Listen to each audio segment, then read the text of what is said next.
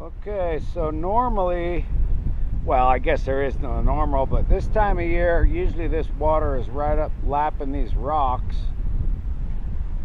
And uh, it is not, as you can clearly see. It is not lapping the rocks. And we've got little islands out there now that usually don't see either around this time of year. I mean, just being typical. But anyway, yes, we are in a serious drought here right now, somewhere here in Central Oregon. And uh, we're at the dam of the Wickiup. And right about where the center of the camera is now is where the uh, tower is that drains the water out to the other side of the dam and good news is, at least at this point, you can't see it.